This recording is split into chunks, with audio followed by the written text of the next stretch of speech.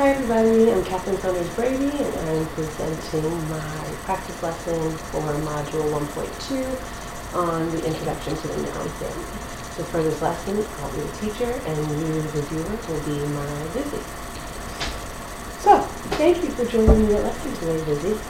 I have noticed that you have been doing some fantastic work with your nouns and your noun exploration in categorizing them by person, place, or thing. So I'm going to take that work a step further for you and introduce you to the whole noun family. I think it's something you're going to think is really cool. This is the noun family. You can see that there's big black triangle, which you already know represents what? Very good, a noun. That's how you've been marking it in your writing. Well, now in the whole family, I like to think of that big black triangle as the dad of the noun family. And then we have a smaller, dark blue, medium-sized triangle. I like to think of that as the mom in the noun family. And then we have a little baby lighter blue triangle. And like I said, that's the baby of the noun family. So it's a family of triangles. But also in this family, these triangles represent different things. The black triangle isn't just the dad, it's the way to mark an actual noun. And the dark blue triangle isn't just the mom, she's now going to mark adjectives for us. And the little blue triangle isn't just the baby, that little baby is going to represent articles for us. Articles are very small words, and that's why the triangle is very small as well. You'll see. I have those symbols laid out for you to show you that when you're doing your sentence analysis, they're easy to recognize. The black triangle, the smaller dark triangle, and the smallest little baby lighter blue triangle. And like we already discussed, the black triangle is going to represent our noun. The blue, the dark blue triangle is going to represent an adjective, which is a word that describes a noun. And the light blue triangle is going to represent an article. And an article is a word that signals a noun is coming. It is part of this family. Let's talk about it with some phrases so you can understand that a little bit better. So give me a noun that we've used before in our writing or our discussion. Teacher. I like it. What's a word that you would use to describe a teacher? Happy. I like that too. And if you wanted to say happy teacher, and you were talking about me, how would you say that? The happy teacher, or a happy teacher. I like your thinking. So I'm going to write that out. A happy teacher.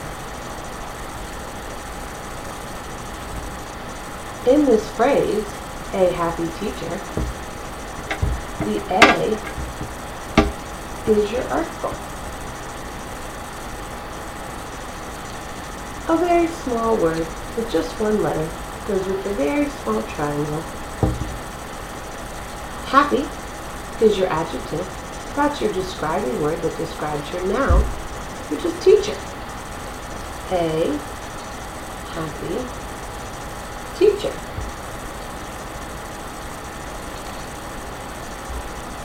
Awesome. Let's think of another one.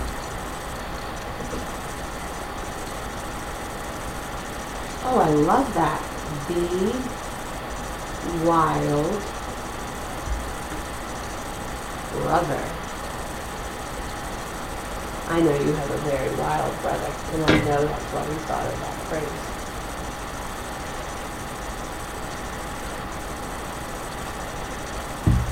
So which of these words do you think is the article? Very good, it's the. What made you think that? That is a small word. I like your thinking there. And we're going to represent that with the very small blue triangle. What's your adjective? Wild. Very good, because that's the word that's describing brother. And brother is your noun. Awesome. The wild brother. So our big black triangle is going to go over wild. Oh, it's not. It's going to go over brother, because that's our. The medium-sized dark blue triangle, that's going to go over wild. Very nice. The wild brother. A happy teacher. Can you think of any other phrases that we could represent using the noun family?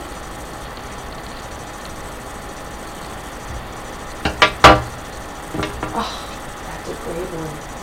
A green plant. We have many green plants in our classroom, don't we?